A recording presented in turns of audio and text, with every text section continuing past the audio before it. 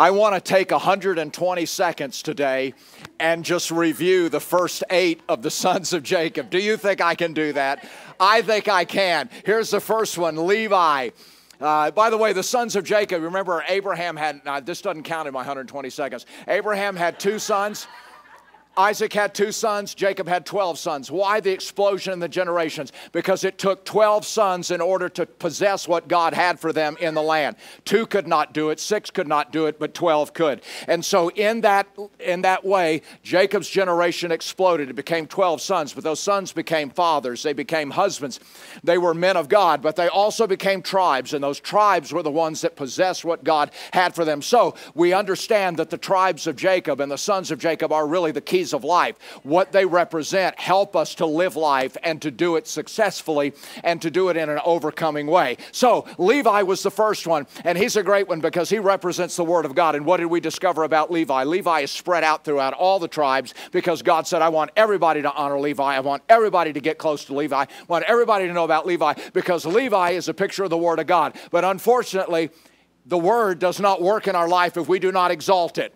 You have to exalt the word. Everything in the spirit must be exalted. Jesus could not exalt himself. God had to do that. God cannot exalt himself. He has the, the, the, people around the throne and the, and the beasts around the throne that exalt him. Anything in the spirit that exalts itself is a wrong spirit. So Jesus had to be exalted. The word has to be exalted. It will not exalt itself. I spent too much time on that one. All right. Naphtali is the wrestler. Naphtali, he is the prevailing wrestler. Naphtali takes on things and wrestles and discovers that in the struggle and in the wrestle, God is doing something awesome in my life, that there is purpose and meaning behind the struggle and behind the wrestling. Then came Issachar, the seer. He's the one who understands the seasons and the signs. He's the one who understands and interprets life correctly. He's the one that says, This is what God means, this is what is happening. He's the one who sees and understands. Oh, you got to have some Issachar Issachar. Je- Zebulun is the connector. He is the one who highlights the power of relationship in our life and, and the understanding of relationship. And you remember, the greatest tests in your life will always come through the avenue of relationship. If you want to know what's inside of you, watch what happens with relationships. Zebulun, the connector. Asher, the overcomer. Asher. You know what you, you got to love about Asher? As his days are, so shall his strength be. Remember, God's creator of all the days. There are no days the devil created. The devil hasn't made one day, God's made them all. Therefore, you can't have a day from hell. You can't have a day from hell. Last time I preached that, the next day I had a day from hell. I don't know. It sure seemed like it anyway. I kept saying, God, you're kidding, right? but Asher's the one that understands no matter what kind of day, whether it's a day of separation or emptiness or darkness or attack or whatever it is, every day in God ends what? Good. And God said, it's good right? Oh, I, I got to have some Asher. Reuben, now you don't want any of this. Reuben was the first one who dishonored his father. He fell from his prominent place. He was the one who chose to dishonor because of multiple allegiances in his life, multiple altars. Pastor Buddy, what are altars? Altars are things that have my full attention. Anything that has my full attention that is not according to God, it becomes an altar, it becomes a multiple altar. Multiple allegiances. Uh, in, in the days of Israel, they went up into the high places. They were getting high on things other than God. If you're getting high on something other than God, it is going to destroy you. Okay.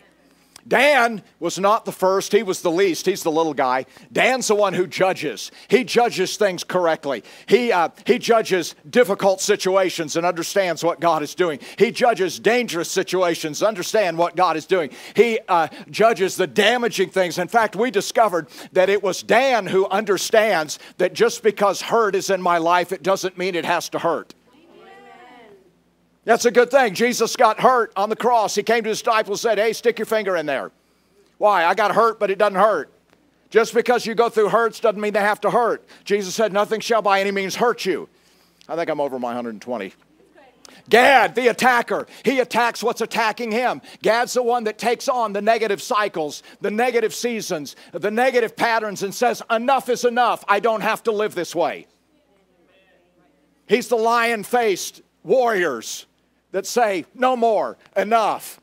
Hey, I did it. Here's number nine Simeon. Now, what are we going to say about Simeon? Well, just remember this. Something that we perhaps have forgotten in American Christianity is that the Word of God is not just His wisdom, it is also His warning. Paul said, I'm teaching every man and warning every man. Those go together. In much of evangelical Christianity today, there is all wisdom and very little or no warning. This man will change that today. Let's read about Simeon. Genesis 29, Leah became pregnant again and had another son. She named this son Simeon.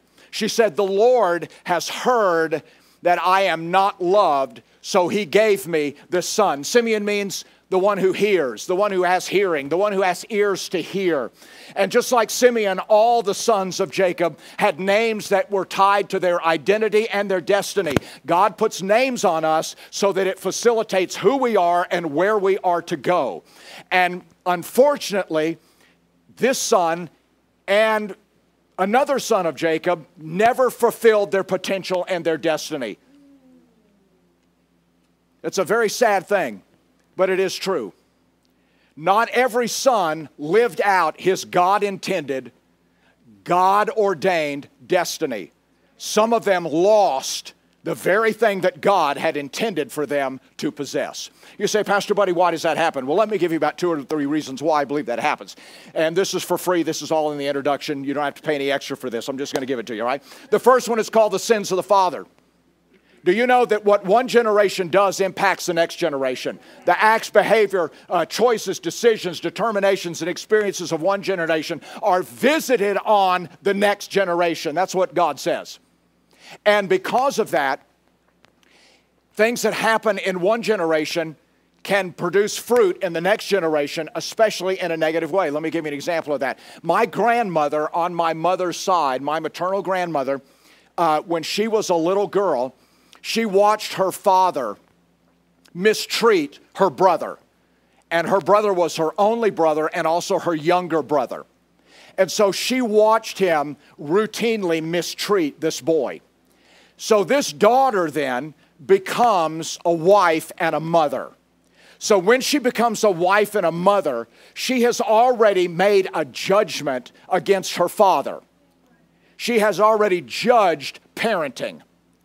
So when she becomes a parent, she now refuses to allow her husband to discipline her boys. So she has six sons and three daughters. The daughters came out much better than the sons because the sons never received from their father the imprint of their blessing and destiny and potential. They never got the affirmation because if you don't have discipline in your life, the message is, I am not loved. The way we show love to our children, one of the primary ways is we bring order and correction and discipline into their life. Whom the Lord loves, he chastens. So they didn't have that. So these sons then became husbands and fathers but they lacked the character development. They lacked emotional and psychological development. They lacked confidence. They lacked the grace that God intended from one generation to put on the next. And as a result of that, those boys never did well. They did not raise up another generation after them. The sins of the father. Secondly, Oh, I'm no applause for that one. All right, let's try this one. The sins of the mother. We'll try this one. Simeon was raised in a household that was a self centered, self absorbed household because Leah used her children to get what she wanted. Remember Reuben with the mandrakes? Here, maybe my, the reason why she did that is because she always felt second best. She felt like she was always in second place, having to compete for the love of her husband.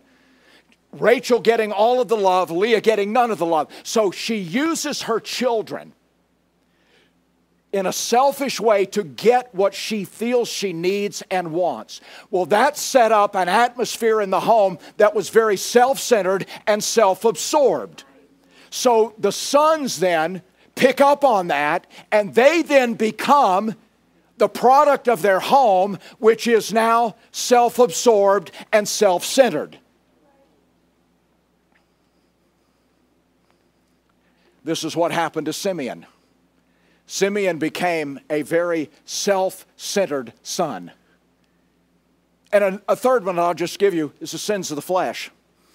Because you see, you can't blame everything on the other generation. Because regardless of what's coming through the generations, you and I still have choices you and I still have our own grace. You and I have our own behavior, our own choices, our own determinations. And it is on the basis of our choices that our destiny is set. And so when I make choices that are not in a line with the heart of God and the Word of God, it is going to radically negatively impact my life. Now, those three things represent why Simeon had so much difficulty. Now, his father identifies what is going on with Simeon.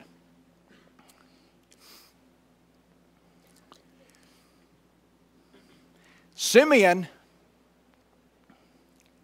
becomes a separated son from his father. Now, you might think this is rather strange, but do you know? Listen to what Jacob said about his son Simeon in Genesis 49. Let me not enter their counsel, let my honor not be connected with their people. God says, Jacob said, I'm distancing myself from this son. Do you know that God does that? Now, you may not hear about it in the standard realm of evangelical Christianity, but the Bible says that God resists certain people. He's no, he stands afar off from certain people. There are things that we can do that can actually cause God to distance himself from us. And then we wonder why our prayers aren't answered. Jacob distances him because Simeon highly, greatly disappointed his father. And when he did, his father said, I cannot go with that. I cannot walk with that. I cannot agree with that. And so Jacob begins to distance himself from Simeon. This is the last part of the verse. For in their self will they hamstrung oxen. Now, so he, he was distance separated from his father, but they were also. Simeon was separated from his inheritance, and this is what is so crucial. He lost his inheritance. And here is what Jacob said in Genesis 48. He's talking to Joseph in Egypt. And this is what he says I'm adopting your two sons. Well, who are those two sons? Ephraim and Manasseh. Those are the two oldest sons of Joseph.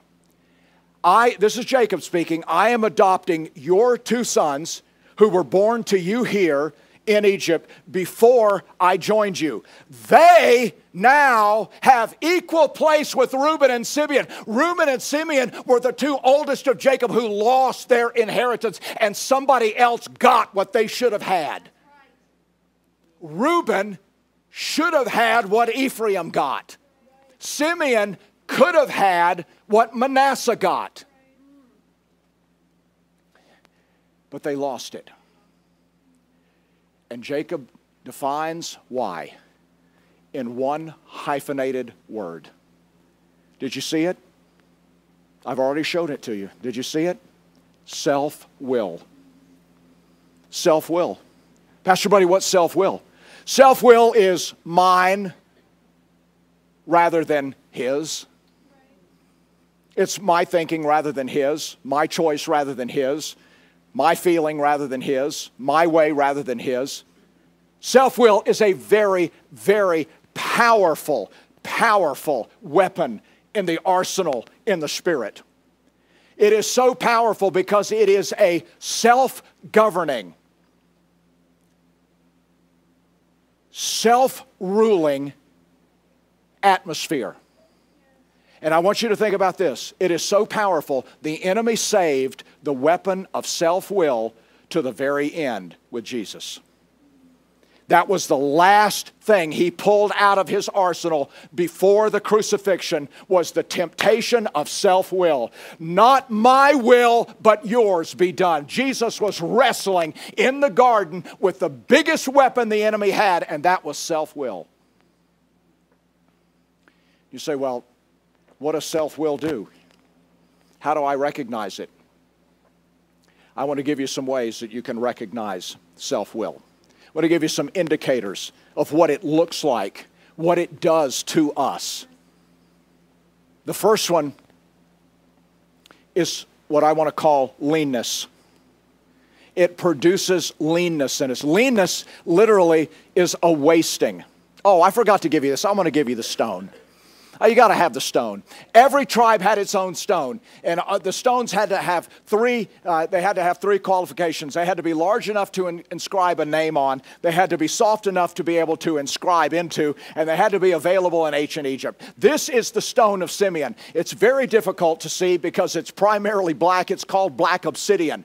Black obsidian is lava glass, and the lava glass is formed when the volcano explodes, and when it does, the lava immediately hits water. And it has no and it cools so quickly it has no time to mineralize and become like a stone so it becomes a glass. It's called lava glass. And it is the stone that you can actually it's the only stone in the breastplate of the priest that you could actually polish so much to where it has a mirror reflection. It has it becomes like a mirror. In fact, black obsidian was used as a mirror in ancient times. There's what it looks like when it's polished. Now, I want to show you a picture of how it looks when it is re- reflecting because black obsidian will give you a perfect reflection. If you look into black obsidian, you will see yourself as you really are. This is why God gave Simeon black obsidian. He wanted him to look into his stone so he could actually see what was going on. It is called the stone of the seers because the seers would use it and polish it and look into the stone to be able to see what was coming, what was ahead, and what was in the future. Now, here is a picture of what it looks like. Whoops too far. Now, what you are seeing there is a person's arm holding a disc of black obsidian, and what it is picking up is the reflection of the fence and the clouds in the sky. Do you see that? It is a circular disc that is so highly polished. If you look into black obsidian, you can see everything without distortion. You can see it clearly. This is why James says the Word of God is like a mirror. When you look into it, you will see your reflection just like you are. You will see what God says you are. You will see what God is saying. And that became the stone of Simeon. But Simeon failed to use his stone. He failed to gain the wisdom from his stone. And so the first indicator is leanness. You know this scripture in Psalm 106. God granted them their requests but sent leanness into their lives. That is a very famous scripture. Here's another uh, a, a version of that. He gave them what they asked for. Oh, wow. you know what that is? Self will. He also gave them a degenerative, a degenerative disease. That is the same translation of that. Why? Because what God is trying to show us is that leanness is ge- degenerative, that self will is a degenerative process. It causes you to waste away. The more I do what I want, the more I choose what the way I'm going to go, the more I, it degenerates my life. I begin to waste away. Now, it's interesting the word sent that you see there in that scripture has the idea behind it of opening a door. It opens the door for things. Self will opens the door, in this case, for leanness. It is an open invitation. Now, let me show you what I mean by that. Simeon had six sons. The first five sons of Simeon, all of their names reflect good, God, grace, they're all very powerful, positive names. Now, all of those sons were brought into the generations by daughters of Israel. In other words, Simeon was married, maybe one, I don't know how many, but he, there was at least one daughter of Israel that brought these sons into being. Well, after Simeon had five sons, Simeon decided, hey, I think I'm going to do something a little different. I think I'm going to mix things up a little bit. I'm sort of tired of the way it is right now, and uh, I just been doing it the, the, the covenant way. I think I'm going to try a different way. I think I'm going to do something a little different. So what he does is he goes out and he finds a Canaanite woman. Now, in Exodus and in Genesis, every time Simeon's sons are listed, they are listed the five sons, their names, and then the sixth son, his name, and always after his name it says, born of a Canaanite woman. Simeon stepped outside covenant because he wanted to. He chose to do that. It's what he felt like doing. Who cares, right? I'm going to do that. He chose. Now, when he did, his sixth son became, here's his name, Shaul. I'm going to spell it for you S H A U L. And it means, well, here's what it means. Do you see the word request in Psalm 106?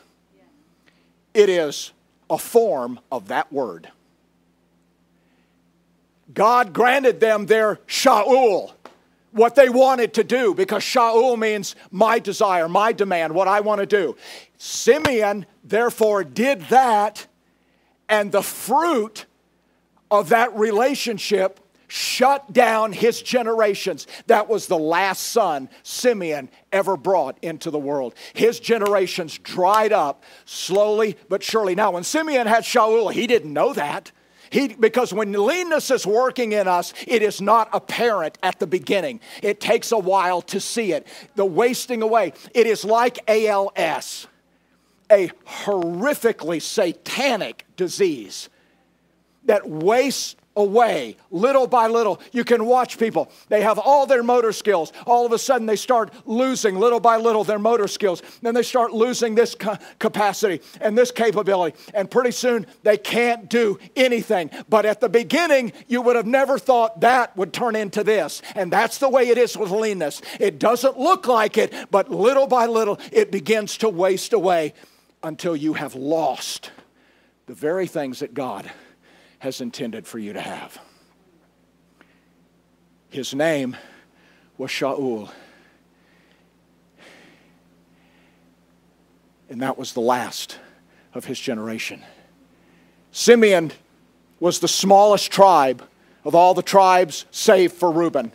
Isn't that amazing? Wow, here we go with Reuben and Simeon again. The two guys that chose outside the ways of the Lord produced the two smallest tribes. In fact, you could say that Simeon was the shrinking tribe because Simeon started with 59,000 warriors. He ended up with 22,000. Not because of war, not because of famine, not because of disease, not because of natural disaster. He was shrinking and going backwards as a generation and as a tribe. He was not going to last. In fact, when you go to the book of Deuteronomy and you read the blessings of Moses upon the tribes, Simeon is never mentioned.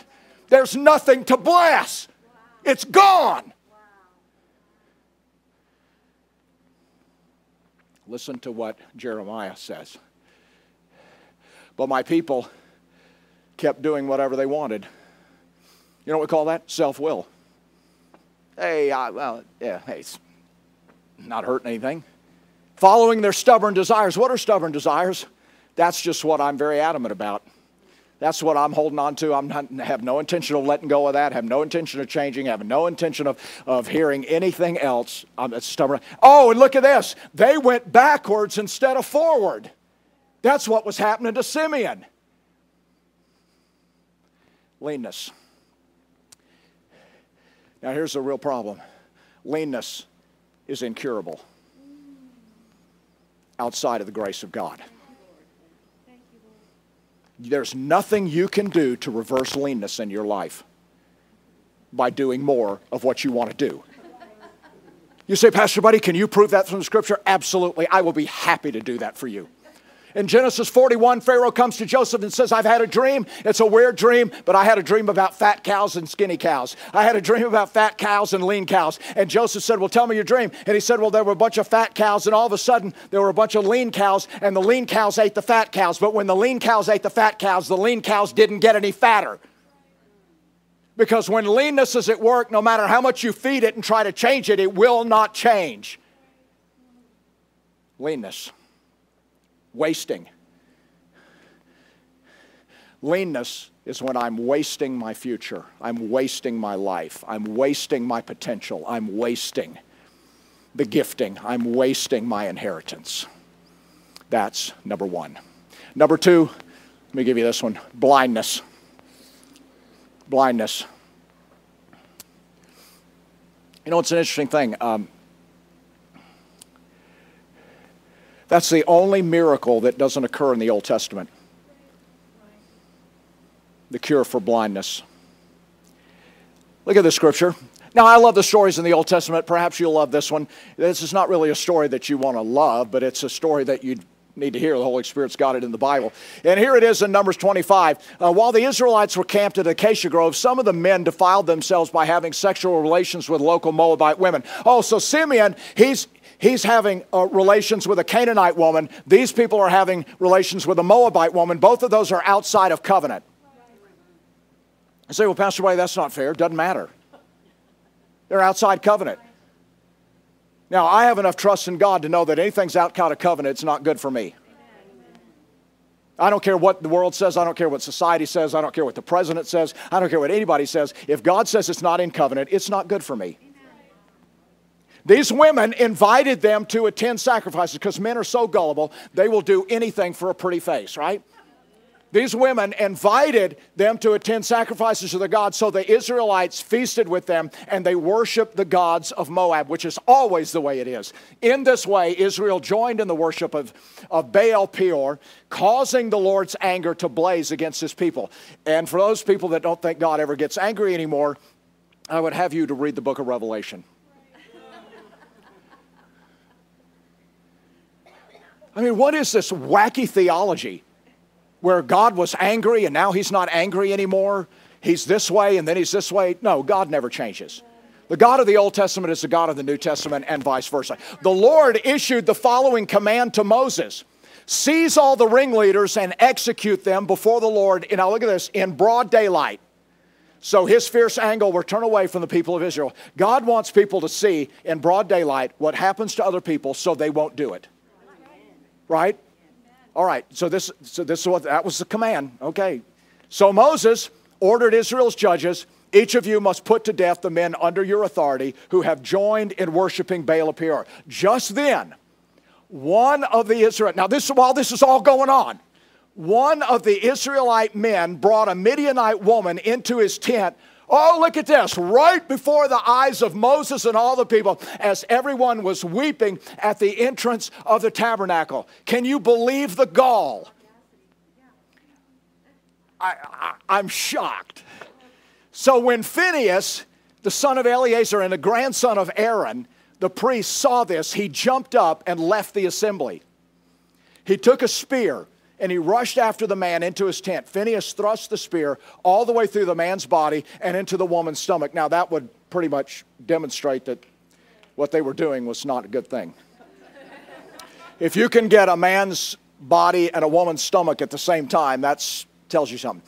So the plague against the Israelites was stopped, but not before 24,000 people had died. So here's this guy, this Israelite. He's walking into the camp with this Midianite woman. There are 24,000 people dead, laying all around. In broad daylight. And there's Moses and the leaders and the presence of God and the tabernacle and the power of God all around. And he's bringing this Midianite woman into his tent, walking right by them. You say, Pastor Buddy, this guy's an idiot. No, he's not. He's blind. He doesn't see what's going on. You see, this is why people can do things and watch other people destroy themselves and go right along and do it as well. You can watch dis- misfortune, you can watch disaster in somebody else, but you never see it. You never identify with it. This man had no, he made no connection between all of this death and what he was. He had no idea that he was going to be dead within five minutes. You say, Pastor Buddy, how could anybody be this blind? I will show you. That's verse 1 through 9. Here's verse 14. The Israelite man killed with the Midianite woman was named Zimri, son of Salu, the leader of a family from the tribe of Simeon. When you are walking in self will, you cannot see what is happening to you or what is happening around you. You do not process it, you do not take it in, you do not, com- it doesn't compute, it doesn't matter. All this death around him, and he walked right into it. And he lost his life. Why? Because that's what self will does. Do you know those guys, the men of Sodom, that were knocking on Lot's door? Well, strike that, reverse it. They were beating the tar out of his door. They were doing everything they could to get inside that house because those men wanted those two men that had come into his house. They would not take no for an answer. They would not listen to reason. They would not take a substitute. They were beating on that door. They wanted those men. And when those angels came to the door and opened that door as they were pressing their way in, they did not kill them, they struck them with blindness. Because that's what self will does. You say, Pastor Buddy, how can somebody be so stupid? They're not stupid, they're blind. Amen. If, you, if you're blind and you step in a hole, it's because you, you're blind. I mean, this is serious. This is incredibly serious because blindness destroys people. This man lost his life because he could not see what was going on around him. He couldn't process it. Number two, blindness. Well, maybe you like this one. Oh, uh, yeah, okay. Let me give you the. Uh, let me give you the third one real quick. Weakness. Weakness. You know the tribe of Simeon was known for its vulnerability to attack and weakness? The tribe of Simeon was the, the southernmost tribe. Its southern border was totally exposed to enemy coming in through the south. And it was a uh, their, their, their land was marked by weakness and imprisonment and captivity. If you take a look at the cities in Simeon, cities like Arad and Hormah, these are places where the children of Israel were put in prison and were imprisoned and taken captive by the enemy. Ziklag was a city in Simeon. That's where David's family was taken into captivity. Simeon is known as a, as a tribe of, of, of having an atmosphere of captivity. Let me ask you a question. When Joseph sees his 11 brothers or 10 brothers who are standing before him, and he says, You will go back and you will bring your father and your younger brother to me, but one of you is going to go to prison. Which one did Jake Joseph choose? Simeon. Now, rabbinical tradition tells us that it was Simeon who rose up against Joseph in the field and said, Here comes that dreamer. Let's take care of him and we'll see what happens to his dreams. Simeon rose up against Joseph. And the consequence of that was he spent months and months in prison in Egypt because he's weak and vulnerable. Because self will makes us vulnerable to all kinds of unpleasant things. Now, so here's some advice from Jeremiah. I like this. Jeremiah 6:16. this is what the Lord says. Now, if this is what the Lord says, probably we should listen. You know, I, as, as we were on our knees today before the Lord, it just hit me uh, afresh. Wow. I am kneeling in the presence of Almighty God. This is what the Lord says. Stop at the crossroads and look around. Hey, that's a good thing to do. When you come to a crossroads, stop. Take a look around. Consider. Before you go that way, before you go that way, stop. Take a look around. Ask for the old godly way and walk in. In other words, it'd probably be a good idea to find out what God has to say. It'd probably be a good idea to find out what is the way of the Lord for me. And walk in that. And here's the promise that goes with it travel its path and you will find rest for your souls. And that sounds like Jesus. If you will go God's way, you will find rest for your souls. You won't have leanness. You won't have blindness. You won't have weakness. You will have rest for your souls. Oh, but look, but you reply, no, that's not the road we want. Nah. I'm going to choose this. I think it's right, so therefore I'm going to do it. It's what I want. Wow. You know, the great thing about Jesus, one of the million great things about Jesus is he came to redeem us from the curse of self will. We don't have to live this way. This is what's so awesome. And so here's what he does Jesus does something incredible. Jesus chooses three special disciples that are designed to reverse the curse of self will. How does he do that? Well, there are three disciples who have a direct association to Simeon. Let me give them to you. You ready? Here we go. Simon the Canaanite. You say, wait a minute, that's not Simeon. No, Simon is a diminutive of Simeon. It is it, virtually the same word. Simon the Canaanite, he represents leanness. How much do you know about Simon the Canaanite? Can anybody in the room name one thing that Simon the Canaanite, who was a disciple of Jesus, ever did or ever said? Not one. The Bible doesn't tell you one thing this man ever did or ever said. I call him the undeveloped disciple, the dark disciple, because you don't know anything about him. He never comes forth. It's almost like he represents leanness, he just doesn't ever come forth. Then there is a second disciple, Judas, the son of Simon. Judas, the son of Simon, you know him better as Judas Iscariot. Iscariot is a word that means man of Kerioth. Kerioth was a place in the land of Simeon. Judas was a Simeonite. Does that surprise you? Self will? Judas was a Simeonite. So here's what happened just as Simeon betrayed Joseph before Joseph ascended to his throne, so does Judas betray Jesus before Jesus ascends to his throne. He represents blindness because how in the world do you spend three and a half years with Jesus and walk away unaffected?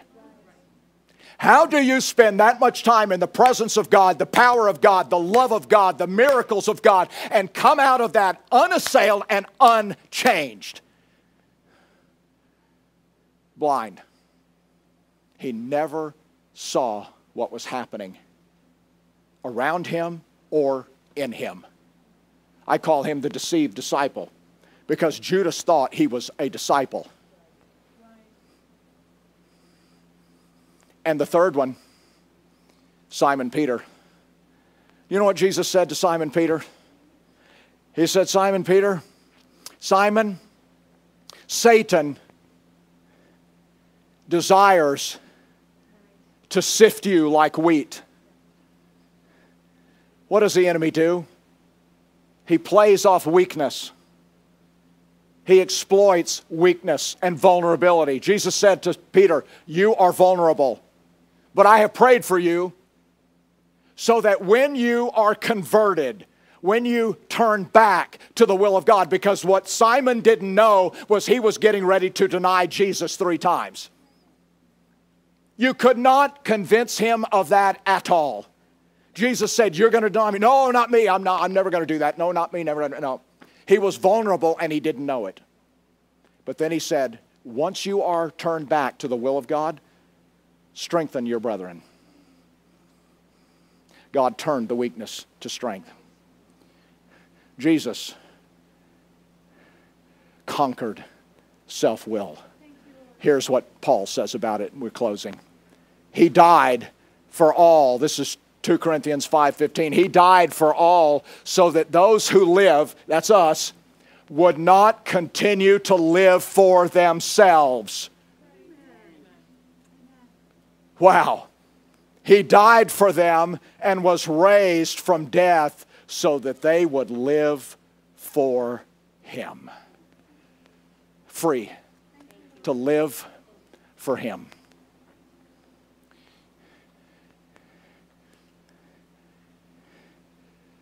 What a tragic story. A son that had so much potential, so much promise, chose to walk in self will and do it his way. And he lost it all. I think he's in there for a reason as a warning to us. Yes. We pay a great price when we live to ourselves and for ourselves.